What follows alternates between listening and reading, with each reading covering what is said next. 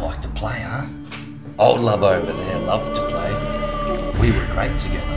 Lasted a few months we did until I cut her tits off.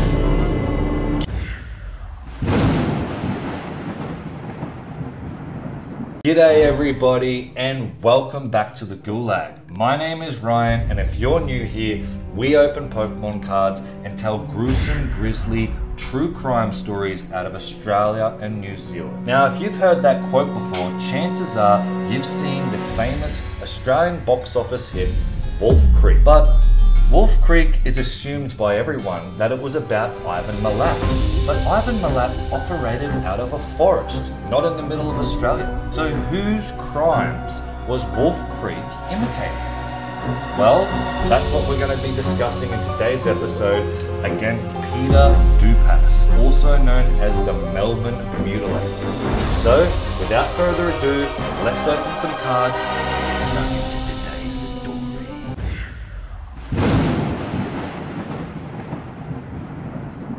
All right, everybody, let's get stuck into today's story about Peter Dupas. Now, Peter Dupas, also known as the Melbourne Mutilator, he was born and raised in Sydney, New South Wales. Now, he had a very normal home life with a very hardworking father and a stay at home mum looking after one of three kids, being Peter Dupas and his two siblings. He was born on the 6th of July 1953, making him 70 years old today. Peter Dupas is currently still alive and serving his life with no parole sentence.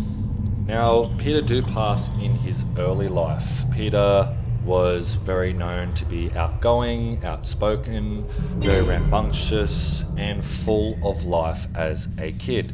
But it wasn't until he was a teenager that red flags started to pop up all over the place. See, when Peter was just 15 years old, he was cutting vegetables for his mum in his kitchen at home. Now, the knife that he had was too blunt to cut through the sweet potatoes and the potatoes that he was given direction to cut up by his mother. So he casually walked over to his neighbor's house, which were a very close family friend in the neighborhood. Now, the neighbors have known Peter since birth, so they were very close with him and loved him like a stepson. Now, when the neighbor opened the door, Peter was there and he asked if he could please borrow a sharp knife to cut the potatoes with. Not thinking anything of it, the neighbor went in, grabbed the knife, and gave it to young Peter, where Peter then sprung into a frenzied attack trying to kill his neighbor. Now, his neighbor, she received cuts on her face and a stab wound to the back of the neck and multiple stab wounds to the hand. Peter Dupas was disarmed of his knife, being an adult versus a 15 year old, and he casually walked home like nothing happened. Now, when the police later rocked up and interviewed Peter, he admitted that he, he did the attack and he did remember the attack, but he cannot puzzle why he did the attack. He said, I do not know why I attacked her. I love her like a mother. I just felt the need to do it. So, put on some serious medications and watch. He was then given 18 months probation as a juvenile and just kept a close eye on. Now we're going to fast forward a few years in the early life of Peter because on the 15th of July, Peter broke into a woman's home and raped her at knife point. Now, this was a huge shock. This was believed to be the start of his reign of terror. He was sentenced to 12 years imprisonment for this crime, uh, where when he got out after seven years, it was only four months after the release date where old Peter was straight back in the slammer. Because Peter got heavily intoxicated and bought some drugs and went on a three day bender assaulting over four different women. Now, the assaults on these women were minor bruising and cuts and being manhandled. He did not use any weapons with these four women, and he was very sloppy and intoxicated, meaning all of the four women did thankfully get away because God knows what would have happened to them if they didn't. So, after he was eventually caught from his little three day bender assaulting four different women he was finally thrown back in the slammer where he served another additional seven years. Now, in that seven years in prison, Peter did find love. He met his wife, which was a mental health nurse by the name of Grace McConnell. Uh, they got married whilst they were in prison. Uh, she quotes from an interview that he was a model prisoner and a model husband, but the moment he got outside the walls, he became a model monster. Which eventually, after his release, they didn't work out full time being a couple.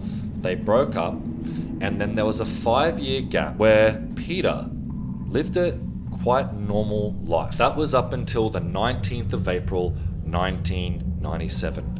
Now, this was a shock to the nation when Nicole Patterson, she was 28 years old and a youth counsellor. She lived in a residence by herself in Melbourne, Victoria, when the neighbours reported that they could hear her screaming from her residential home at 9 to 9:30 in the morning.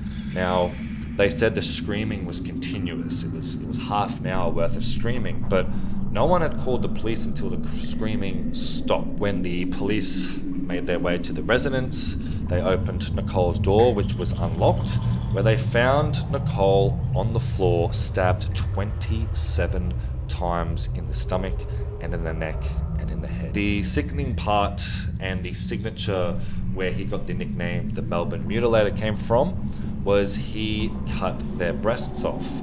Now, Nicole's breasts were never located, which comes into his later murders, as it was believed that he ate them. On the 4th of October 1997, so a few months later, there was a 40 year old sex worker by the name of Margaret Maher. Now, she was working outside of a Safeway supermarket in Melbourne, where she was known by local police authorities and known by the local ambulance to always have worked that block for the last five to six years. Now, it was in the early mornings following that midnight attack where they found Margaret behind a dumpster with cardboard boxes over the top of her to disguise her. Now, when the worker removed the boxes, he was mortified to find Margaret naked underneath the boxes and had been beaten to death with a Besser brick. The police did the report on the body, and the blunt form former Tross had been to the left side of her face on her eyebrow, caving in this side of her skull, and also took multiple hits with the brick to the teeth. Now, this also leads to the mutilating side of things, where he cut off her left breast and shoved it in her mouth. Now, as soon as the police got to the scene and they saw the breast that cut off, they knew they were dealing with the Melbourne mutilator. And this is where, my friends, you get the name a serial killer. Which leads me to the third murder and the end of his reign of terror, where a young lady by the name of Marissa Halvagis, 25 years old, was visiting the grave tombstone of her dead grandmother. Now, she was kneeling down in front of the grave where she was found naked, and she had been stabbed a whopping 87 times. Now, all of these stab wounds were to this woman's breasts. There were no other stab wounds on her body except in the breast region. They knew straight away they were dealing with the Melbourne mutilator as he had attempted, kind of like a surgeon, to remove the breast, but with the amount of stab wounds, it was rendered pointless.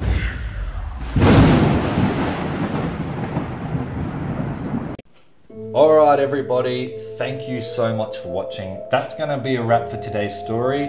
Make sure you hit the bell notification so you get notified on our daily uploads. Alright, thank you for watching. Until next time.